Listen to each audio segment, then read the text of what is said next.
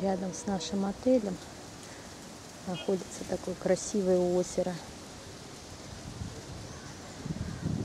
Ну, все в лотосах или в кувшинках.